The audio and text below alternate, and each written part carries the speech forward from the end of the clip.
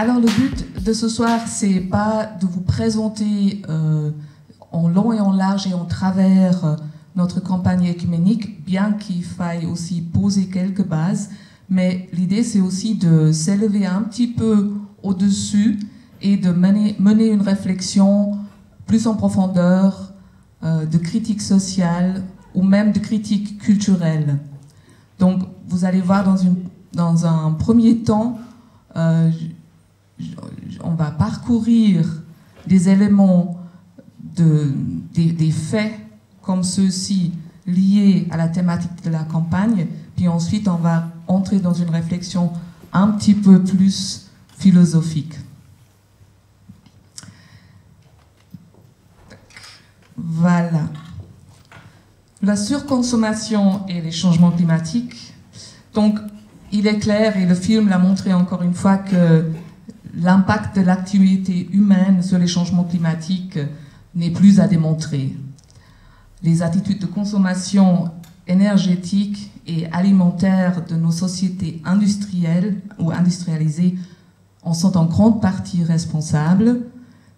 Nous le savons, sont responsables du réchauffement de la planète. Ce qui est en, jeu aussi, c'est que les populations du Sud, elles sont, ce sont elles qui sont le plus touchées par les, conséquences euh, des changements climatiques, alors qu'elles, y ont le moins contribué? Elles subissent les conséquences lorsque la saison de pluie se fait attendre, ou lorsque les typhons ou les pluies torrentielles s'abattent sur leurs récoltes et dévastent les récoltes en quelques secondes. Et en, raison de, de, ces caprices du climat, le droit de se nourrir des populations des pays en développement est menacé, voire pas respecté, bafoué carrément. Les partenaires des projets du Sud témoignent de ce qu'ils vivent, notamment dans les ateliers climat que PAN pour le prochain Action de Carême et en collaboration avec d'autres organisations organisent, ils, témoignent de tous ces phénomènes auxquels ils doivent faire face euh, à cause des changements climatiques. Donc, force est de constater pour nous que les changements climatiques sont par-dessus tout euh, un enjeu de justice.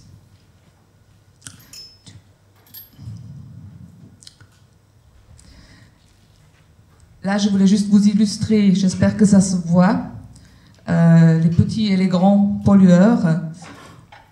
Vous voyez aussi la place de la Suisse,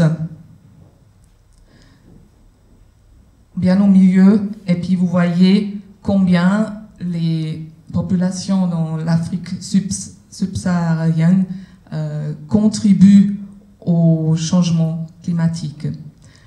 Une autre statistique dit aussi que la Suisse, qui était quand même une assez bonne élève en matière de, lutte contre les changements climatiques, elle, se trouvait dans les dix, enfin elle se trouvait à la huitième place dans les dans les dix meilleurs élèves. Et depuis euh, depuis quelques temps, elle a quitté cette place-là. Elle, elle, se trouve maintenant reléguée à la onzième place. Donc on n'est pas des si bons élèves. Là, ce qu'on peut voir, c'est que l'alimentation et puis aussi la production agricole contribuent vraiment à haute dose à la production euh, du gaz à effet de serre. Bah, je vous laisse prendre connaissance de ce tableau, je ne veux pas le commenter dans tous les détails. Ce qui nous importe, c'est la part de l'alimentation. On peut aussi voir l'énergie des ménages, mais on va se focaliser sur la, barre rouge. Voici le menu que la campagne œcuménique de cette année vous propose. Elle veut donc montrer ces liens entre nos attitudes de consommation alimentaire, mais aussi consommation en général, dans le Nord, et l'impact sur les évolutions climatiques et sur les populations dans le Sud. Euh, de plus en plus de gens comprennent qu'on vit dans un monde interconnecté et ce qui se passe dans le Sud à avoir avec nous et vice-versa. Les gens prennent conscience aussi que, que nous vivons aujourd'hui en Suisse, et là je vous dis rien de, de nouveau, nous vivons et nous consommons comme si nous avions 2,8 planètes à disposition, à consommer. Euh, c'est en soi déjà euh, un, antagonisme, enfin c'est assez euh, cruel de dire ça comme ça, mais les statistiques se servent de cette terminologie pour illustrer un fait. Euh, on peut aussi dire, et vous me permettez peut-être, vous me pardonnez l'expression, vivre dans un monde interconnecté, ça veut dire pendant que les uns euh, souffrent des problèmes d'obésité dans nos sociétés de Nord ou de concentration de capital, pendant que qu'il y a des gros poissons et des gros qui sont tout pleins de soupe. Euh, dans les pays en, dans les pays en développement, les gens n'arrivent pas à joindre les, deux bouts. Donc là, il y a un problème et c'est pour ça qu'on fait ce lien. Euh, si nous consommons moins, ben, il y aura aussi plus pour les autres. Euh, je tiens aussi pour exemple un fait euh, qui a été relaté par les médias tout récemment. Vous l'avez peut-être entendu, le bénéfice d'Apple au dernier trimestre de l'année 2014 Quelqu'un sait à combien il s'élevait, ce bénéfice d'Apple? C'est des chiffres qu'on peut juste pas s'imaginer. 18 milliards. Bénéfice. Alors avec ça, je vous ai tout dit, parce que le revers de la médaille, c'est l'exploitation des travailleurs, la destruction massive de l'environnement. Ce sont des ingrédients de cette manne qu'une entreprise euh, se met dans la poche et sans oublier évidemment que nous, les consommateurs et consommatrices, marchons dans la combine et moi avec. J'ai aussi un iPhone.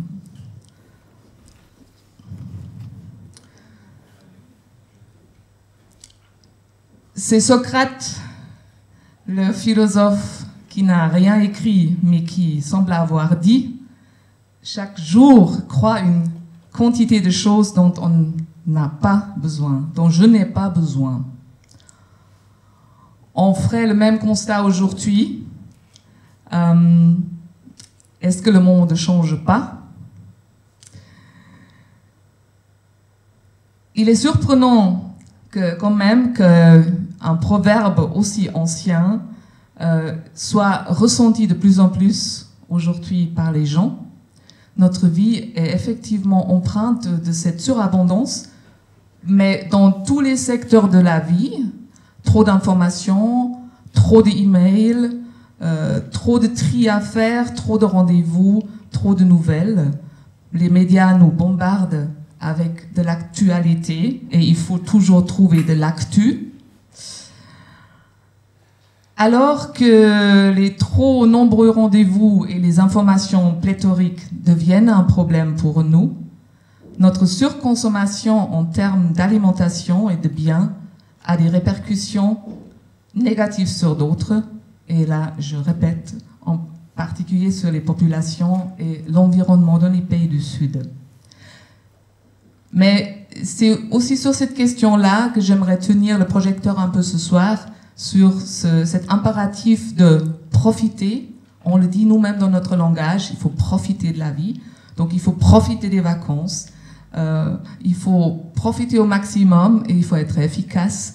Euh, ce, cette logique-là euh, a infiltré tous les secteurs de notre existence. Là, vous voyez la triangulation. J'ai pas besoin d'expliquer ce que vous voyez.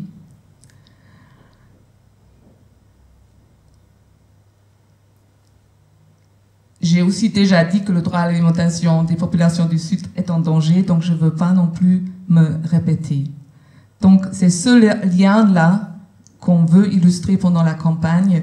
Et comme je le disais au début, nous avons de la chance d'avoir un réseau de paroisses partout en Suisse, des gens qui sont sensibles à cette thématique et qui nous permettent aussi de faire un travail de sensibilisation dans, dans les régions. Euh, pour vous donner un ordre de grandeur, euh, ici en Suisse romande, on a plus de 2000 personnes à qui on envoie la documentation de la campagne et qui s'approprient cette thématique. Donc en termes d'alternatives citoyennes, euh, la démarche de cette campagne écuménique, elle est vraiment construite sur cet effet multiplicateur.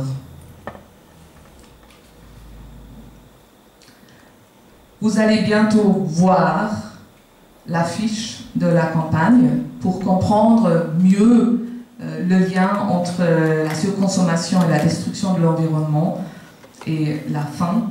Ben, on va se focaliser sur la consommation de la viande et ça sera ce pauvre poulet ou ces pauvres poulets au fond d'un congélateur qui euh, vont illustrer la thématique. Ils illustrent justement le rapport entre la production alimentaire industrielle et les changements climatiques. Euh, et ce qu'on voit là avec ces poulets congelés sous vide, euh, l'idée c'est de cacher les réalités là derrière, comme vous l'avez vu aussi dans le film, donc la production agro-industrielle euh, des céréales, du soja, qui servent justement de, fourrage, de fourrage pour nourrir ces, bêtes.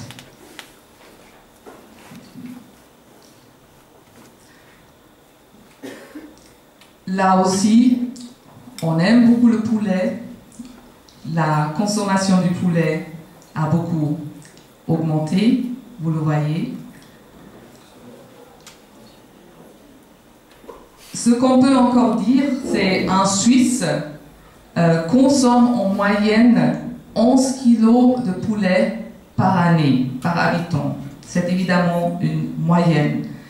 Sur ces 11 kilos, la moitié des poulets sont importés l'importation journalière s'élève à peu près à 127 tonnes. Donc ça représente trois gros semi-remorques. Puis les importations viennent surtout du Brésil, la Chine, mais de la France aussi, de l'Allemagne et de l'Hongrie et de la Pologne, pour vous donner une idée. La matière première pour engraisser ces bêtes vient aussi du sud en grande partie.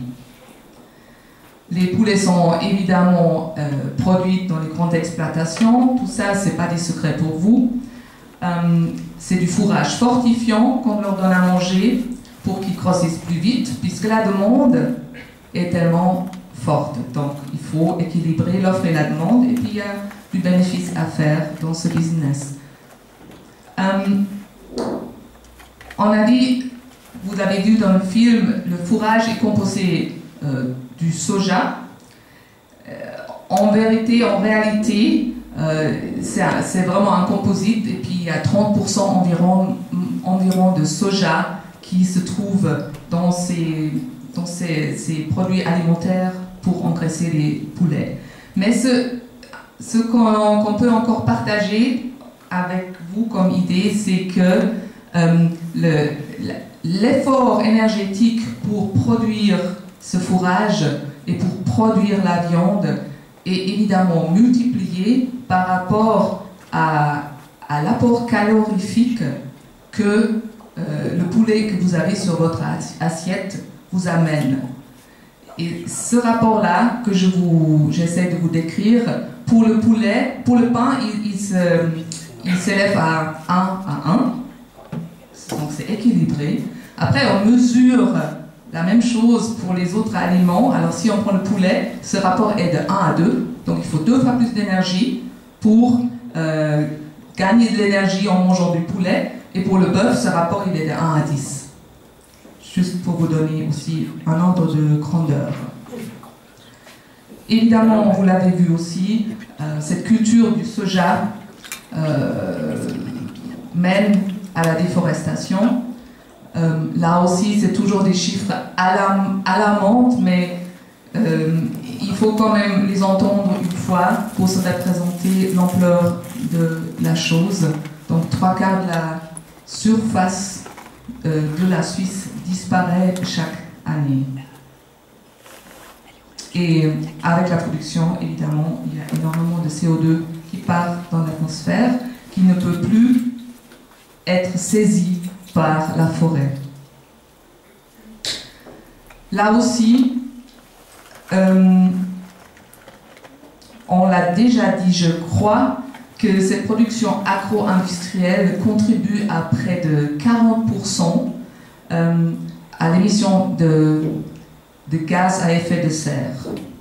Ça inclut, au début je vous ai montré la première statistique pour l'alimentation c'était 30%, mais si on compte tout, évidemment aussi le transport euh, et la fabrication de, l'engrais, etc., on arrive en à peu près à 40% euh, de, de, participation de la production alimentaire industrielle à l'émission des effets de, l'émission des gaz à effet de serre.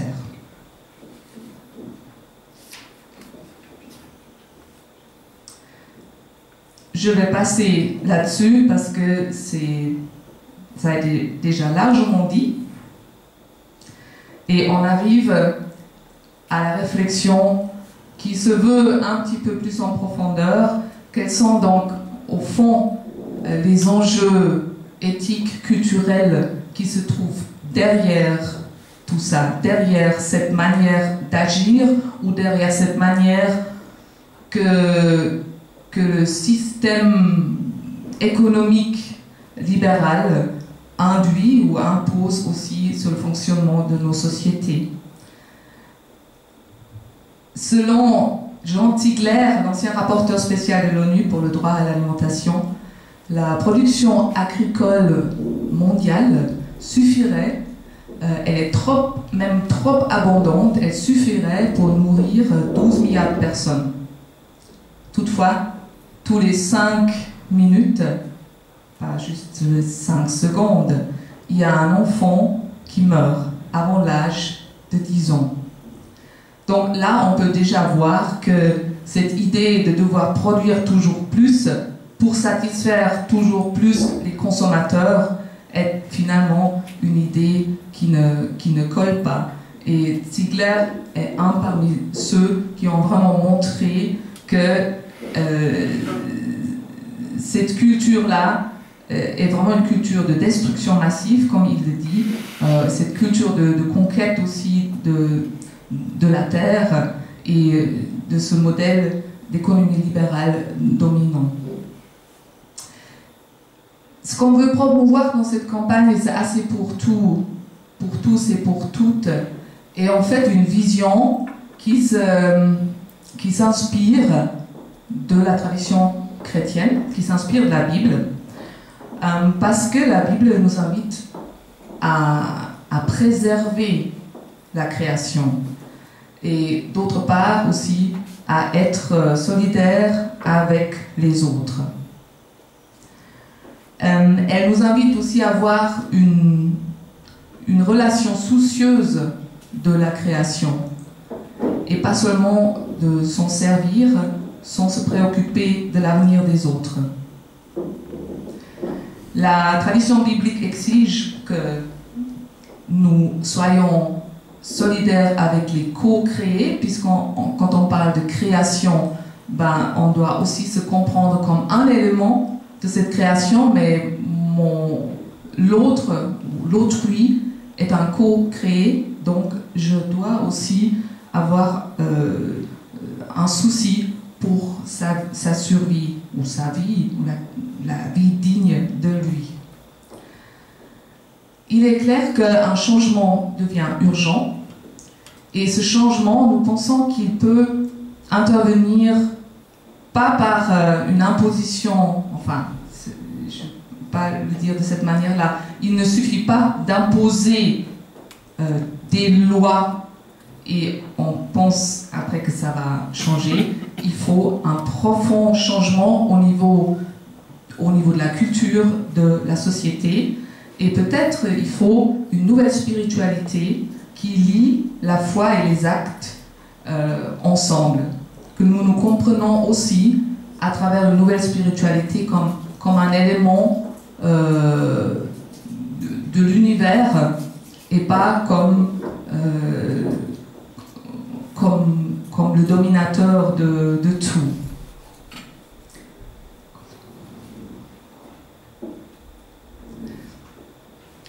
Voilà, assez pour tous et toutes est en fait exprimé dans ce, cette vision biblique qu'on trouve dans l'acte des apôtres. C'est en fait une vision d'une société, je ne sais pas si je peux utiliser le mot, mais quand même d'une société euh, communiste où, chacun vraiment dans, un, dans, une idée d'un modèle de communisme euh, de, base, où chacun euh, peut bénéficier, enfin peut, peut faire valoir ce dont il a besoin, ce dont elle a besoin. Mais pour que ça fonctionne, il faut que l'attention à l'autre soit là. Et il faut aussi que personne abuse euh, et met en avant ses besoins sans tenir compte des besoins des autres. Donc c'est tout un équilibre très, euh, euh, très fragile et en même temps très fort si c'est si bien vécu. Donc la Bible donne cette image-là. Je ne vais pas maintenant entrer dans un survol historique comment les sociétés ont réussi ou pas réussi à traduire cette idée-là de solidarité, mais elle est là cette idée de solidarité au départ. Euh, ce qu'ils expriment là aussi, c'est que nous pouvons vivre plus simplement et en, se, restreignant de, l'essentiel.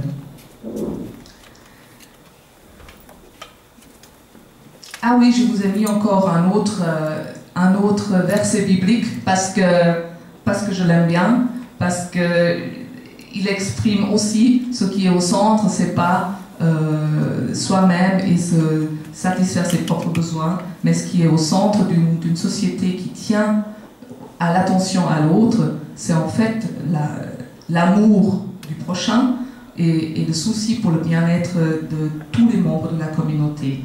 Donc, euh, mieux vaut un plat de légumes là où il y a de l'amour qu'un bœuf gras assaisonné de haine. Pour moi, c'est un proverbe euh, qui, dessine ou qui fait rêver euh, d'une société inclusive.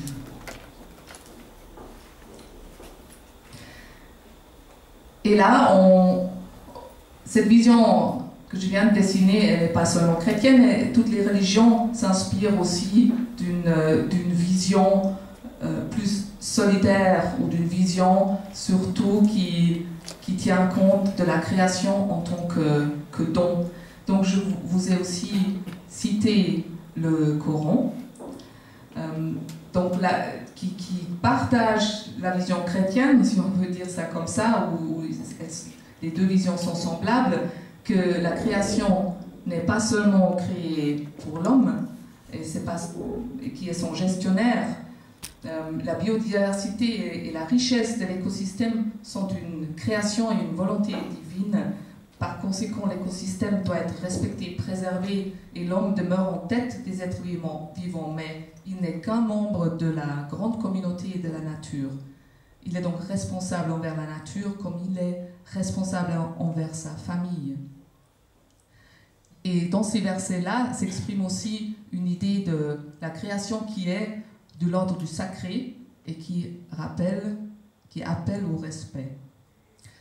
Je vous dis aussi encore que dans la langue euh, hébraïque ou dans, dans, la Bible de l'Ancien Testament qui était écrit en hébreu, si vous regardez les textes de la création, le mot pour créer est un, est un mot bara qui est utilisé uniquement pour l'acte créateur de Dieu.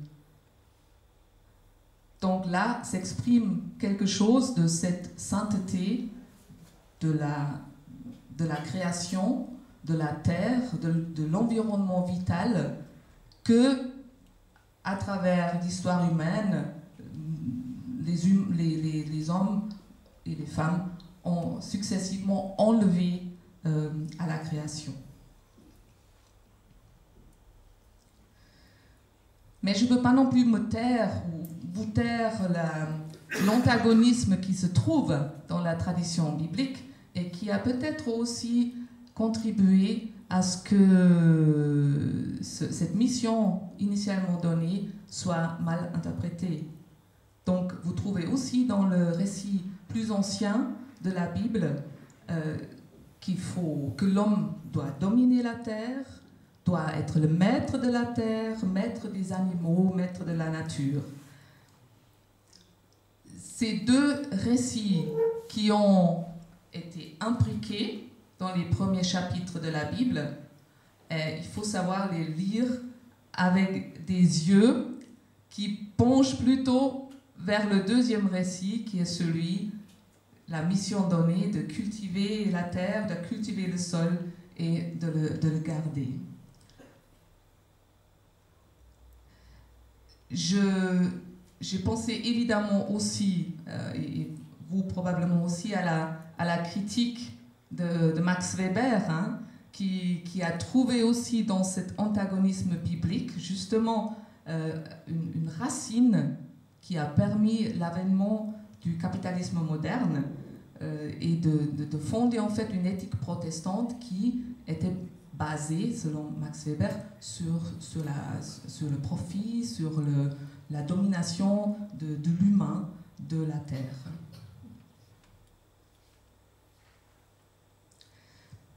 Alors il y a une sorte de chosification de la terre qui est intervenue et une profonde rupture de lien avec nos origines, si on se comprend comme co-créé,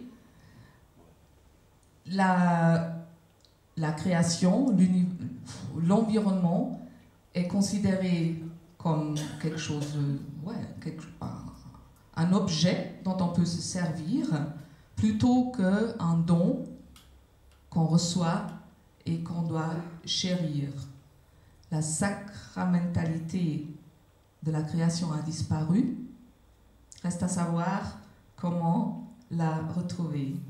Il y a ici une profonde crise de valeurs, valeurs d'une société mondiale aveuglée par l'impératif économique. Donc au-delà de tous les constats alarmants qu'on peut faire, la compagnie écuménique, elle cherche aussi à, susciter une prise de conscience en profondeur et elle met justement le doigt sur ces incohérences de notre modèle de société qui s'infiltre partout. Qui s'infiltre partout, j'ai déjà fait une allusion tout à l'heure, parce qu'à force d'obéir à cet impératif de faire toujours mieux, de profiter, euh, de consommer, d'être compétitif, euh, il, y a aussi de plus en plus de gens qui se sentent menacés par un épuisement, parce que c'est juste un rythme intenable. Donc on parle de plus en plus du burn-out, vous entendez les statistiques, euh, pourquoi on en arrive là? Les gens qui perdent aussi le lien avec la source de leur existence, avec leur corps, avec l'environnement et les autres, parce qu'il faut faire toujours mieux, toujours plus vite. Et quand on fait toujours mieux et toujours plus vite, on n'a plus le temps de réfléchir. Donc là, il y a vraiment une profonde crise de société et une crise de sens qui, à mon avis, se trouve derrière l'accélération aussi des changements climatiques la terre et les ressources naturelles sont devenues des marchandises à exploiter comme une autre. Cela est dû à cette logique évolutive. Euh, j'ai lu un auteur qui s'appelle Claire Méchalon, qui a beaucoup travaillé sur les questions d'interculturalité et qui m'a donné une clé. Les sociétés occidentales fonctionnent sur ce modèle-là tu feras mieux que ton père, tu feras des études, mes enfants euh, doivent, avoir, doivent avoir une vie meilleure que nous. Donc il y a toujours cette logique d'aller de l'avant et de faire mieux que ses ancêtres. Et c'est justement cette logique évolutive-là, euh, que l'on trouve beaucoup moins dans des sociétés de, des pays du Sud, qui sont des sociétés qui vivent plus dans, un, dans une précarité et où il s'agit beaucoup plus de, de subvenir aux besoins de base.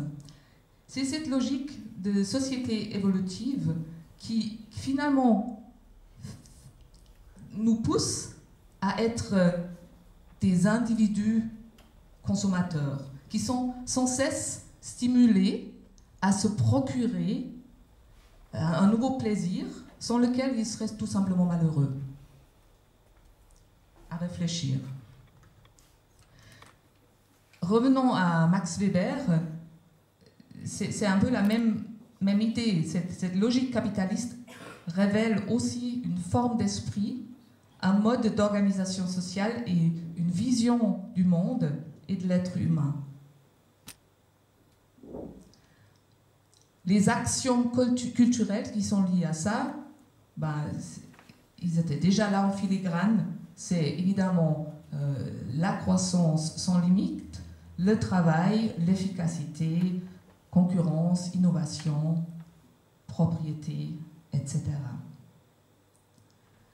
Et là aussi, je le dis avec les mots encore de Claire Michalon, euh, l'apologie de ce comportement individuel du fera mieux euh, mène aussi à cette la dite liberté de consommer et introduit sub, une distance par rapport, par rapport au bien public et par rapport à la nature.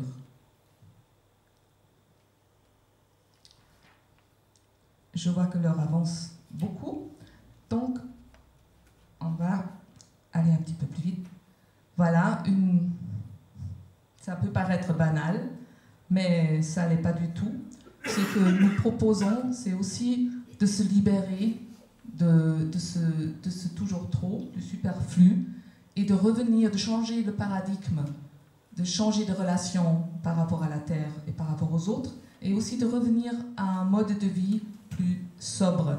Et la campagne s'inspire de cette idée d'éco-spiritualité euh, des penseurs comme Pierre Rabhi, et je vous laisse prendre connaissance aussi de cette citation.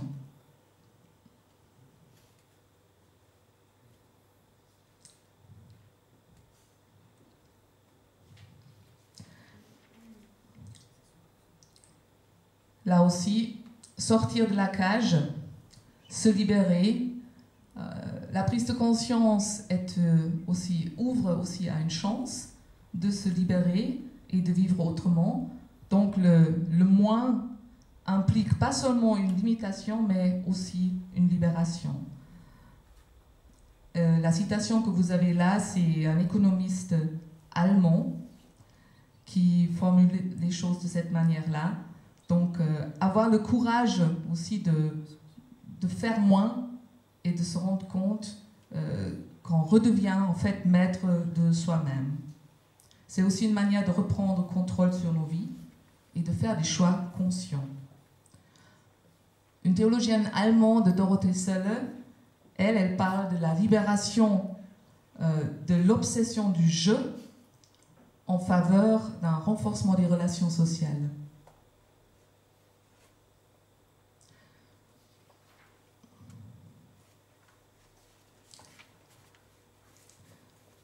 Voilà, je vais aller plus vite.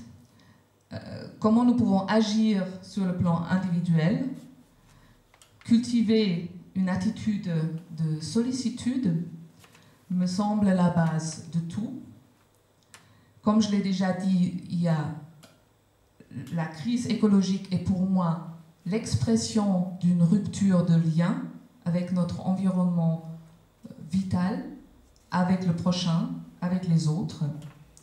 Donc, et en même temps, nous sommes quand même, nous sommes quand même obligés, amenés à vivre sur une même planète. Donc, il devient urgent de restaurer ce lien original entre l'homme et la terre et qui passe par une spiritualité qui offre à la terre notre respect et notre sollicitude. ce mot sollicitude me plaît beaucoup. C'est un très beau mot de la langue française parce que il y a l'idée de se soucier de quelqu'un ou il y a l'idée de, prendre soin. Et comme dans les relations interpersonnelles où nous prenons soin de, des autres ou de ceux qui nous sont chers, bah, il s'agit aussi de prendre soin de la terre et de l'environnement vital. Vivre plus simplement, revenir à une certaine frugalité, à une sobriété heureuse, nous savons que ce n'est pas une idée très marketing. Hein? Ça plaît pas beaucoup. C'est difficile aussi de, de, traduire cette idée-là euh, à, à, une jeune génération qui est fascinée et qui a, qui a grandi avec les high touch. C'est difficile de transmettre cette idée-là et ça appelle à notre créativité, ça appelle peut-être avant tout à être un exemple et à montrer qu'on peut être heureux sans consommer trop. La campagne invite non seulement à opérer un changement, on va dire quand même intérieur et au niveau interpersonnel, mais aussi à agir sur le plan politique. Euh, il y a une, pétition qui est lancée par l'Alliance Climat qui justement veut que la Suisse s'engage dans les, dans les débats euh, prochainement au sommet en décembre à Paris sur une nouvelle convention internationale climatique. Et cette pétition euh, a deux objectifs. Vous les voyez là. Euh, évidemment, la réduction des émissions de CO2 et puis euh, introduire dans l'économie, on va dire, on va introduire l'idée de plus de justice climatique.